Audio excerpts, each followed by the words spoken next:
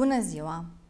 Mă numesc Flavia Dalia și sunt învățătoarea voastră astăzi la prima oră de limba română. Pentru lecția de astăzi aveți nevoie de caiet pentru a vă lua câteva însemnări, caiet și gumă de șters. Mie îmi plac foarte mult animalele. Vouă vă plac? Sunt sigură că da. Iar lecția de astăzi are ca personaje două animale. Ce vedem în imagine?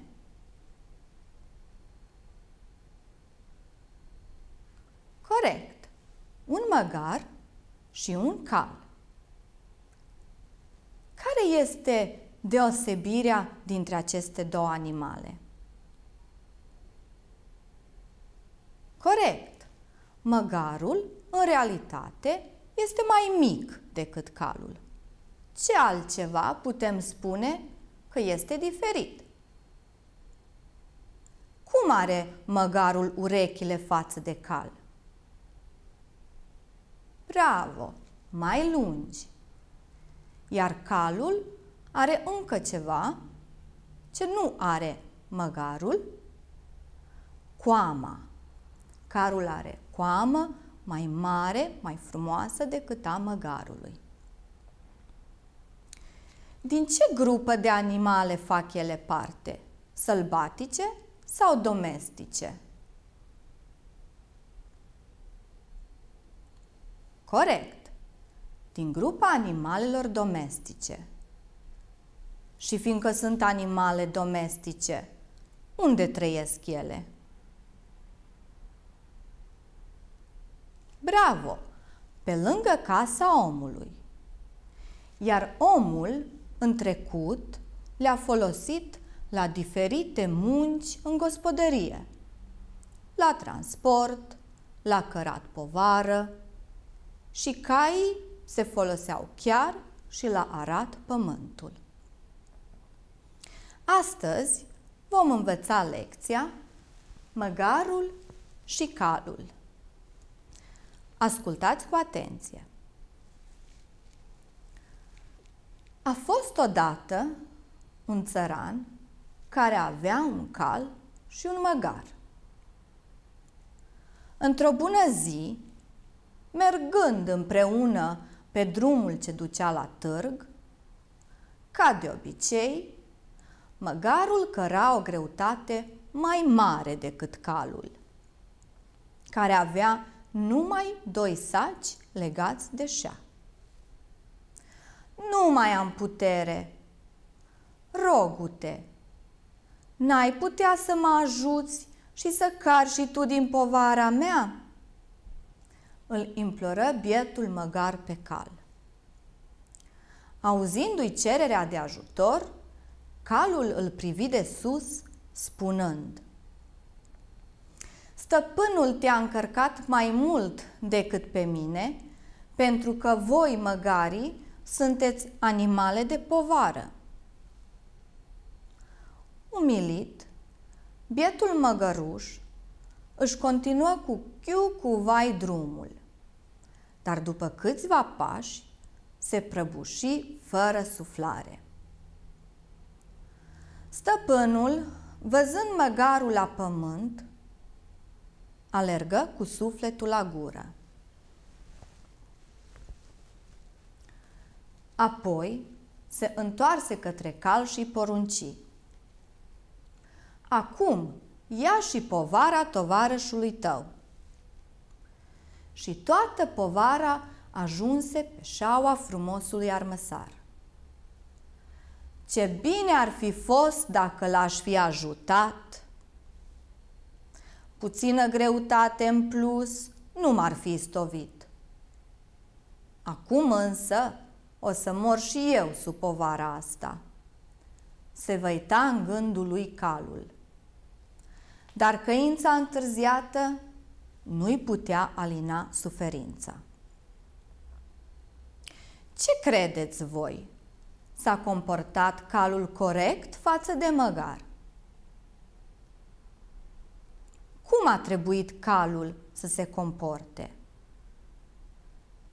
Bravo! Calul nu s-a comportat corect, el a trebuit să-l ajute. Să vedem despre ce este vorba în textul citit.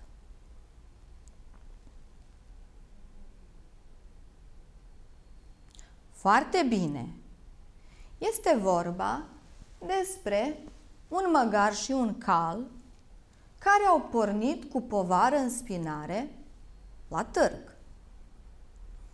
Pe drum măgarul, din cauza greutății pe care o căra, a căzut fără suflare, iar calul a trebuit să preia toată greutatea.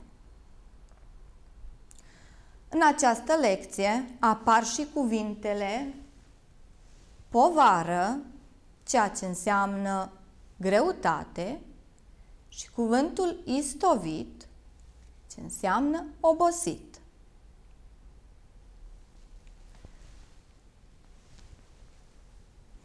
Să vedem ce ați reținut din această lecție. Vom răspunde la câteva întrebări. Aceste întrebări le puteți transcrie și în caietul vostru.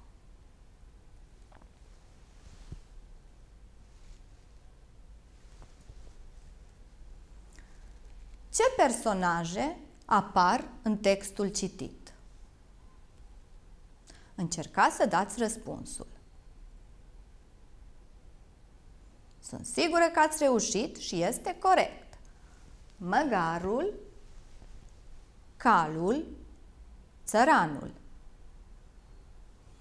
Următoarea întrebare este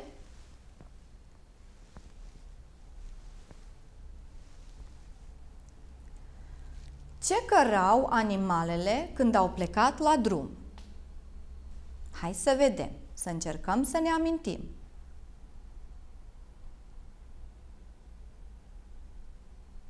Foarte bine. Animalele cărau greutate sau, putem spune, povară. Următoarea întrebare ce a cerut măgarul necăjit calului?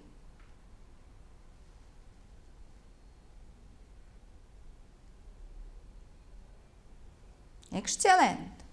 Măgarul a cerut calului să-l ajute cu greutatea din spinare, să ia și calul din greutate. Să continuăm! De ce calul nu a vrut să îl ajute pe măgar? Ce credeți voi? De ce calul nu a vrut să îl ajute pe măgar?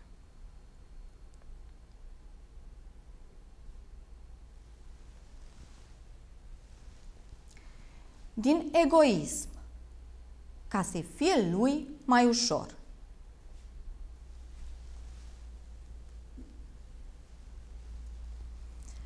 Ce s-a întâmplat cu măgarul? Ce s-a întâmplat cu măgarul până la sfârșit?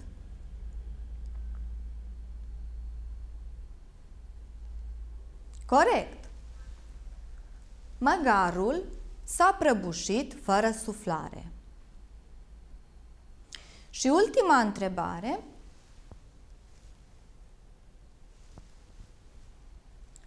Ce a fost obligat calul să facă atunci când a căzut măgarul?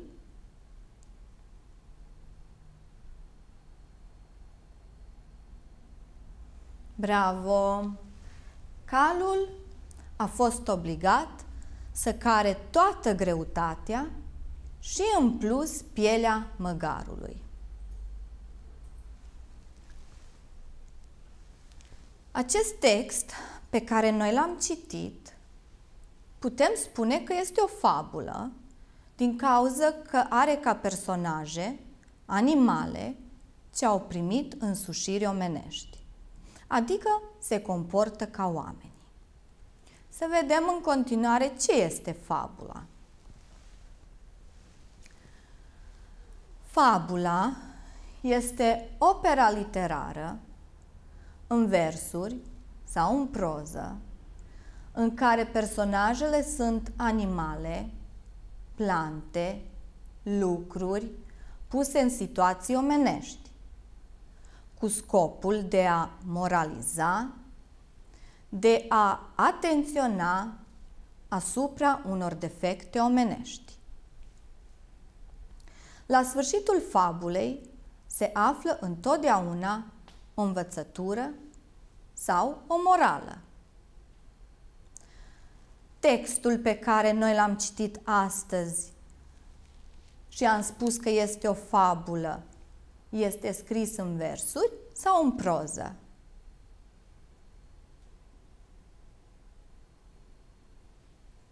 Bravo! Este scris în proză. Și fiindcă am spus că fiecare fabulă are la sfârșit o învățătură sau o morală, hai să descoperim care este învățătura fabulei citite. Încercați singuri să vă gândiți la ce învățăm noi din comportamentul măgarului și al calului din lecția noastră.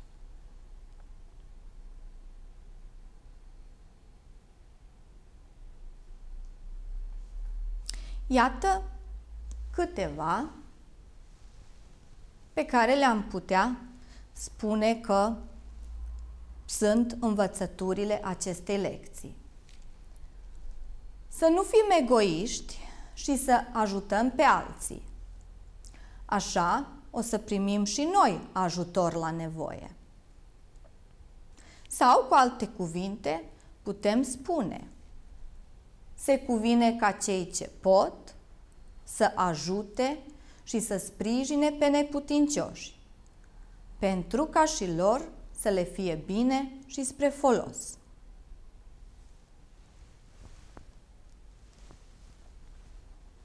Am spus că fabula are ca personaje animale sau poate avea personaje plante sau lucruri care primesc însușiri omenești. Ce sunt acelea însușirile omenești? Adică comportamentul omului. Să vedem ce însușiri omenești au primit măgarul și calul din fabulă. Încercați să vă gândiți singuri la însușirile pe care le are măgarul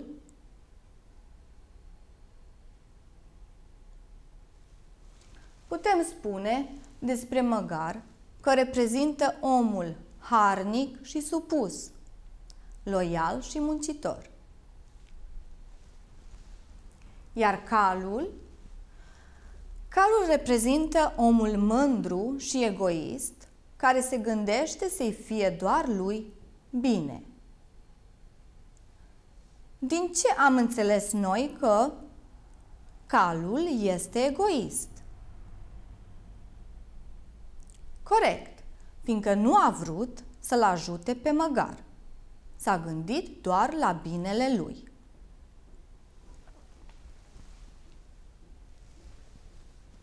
Să rezolvăm câteva exerciții și astfel să ne distrăm un pic. Subliniați răspunsul corect. În continuare, vedem câteva propoziții, iar noi trebuie să o subliniem pe cea corectă. Să alegem. Omul a avut o pisică și un câine sau omul a avut un măgar și un cal.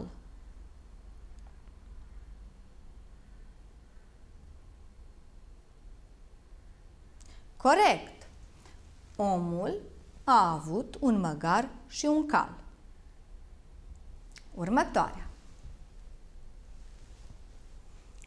Calul ducea în spate greutatea cea mai mare sau măgarul a cerut ajutor de la cal. Să ne amintim.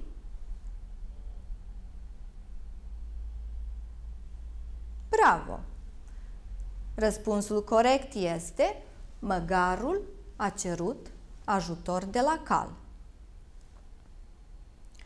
Următoarea,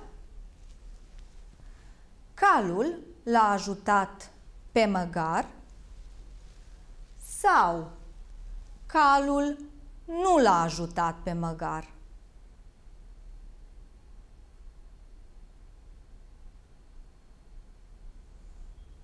Bravo! Calul nu l-a ajutat pe măgar.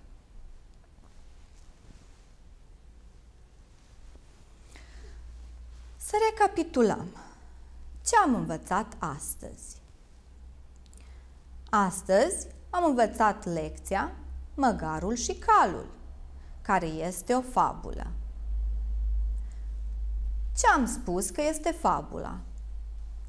Fabula este opera literară în versuri sau în proză, în care personajele sunt animale, plante, lucruri puse în situații omenești, cu scopul de a moraliza, de a atenționa asupra unor defecte omenești.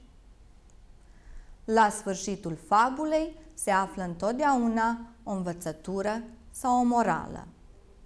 Despre ce a fost vorba în fabula citită de noi astăzi? Am spus că este vorba despre un măgar și un cal care au plecat la târg cu povară în spinare. Pe drum, măgarul din cauza greutății s-a prăbușit fără suflare și calul a trebuit să ducă toată povara în spinare. Morala acestei lecții care a fost? Putem trage concluzia că trebuie să ne gândim și la binele altora și să ajutăm pe cei care au nevoie de ajutorul nostru.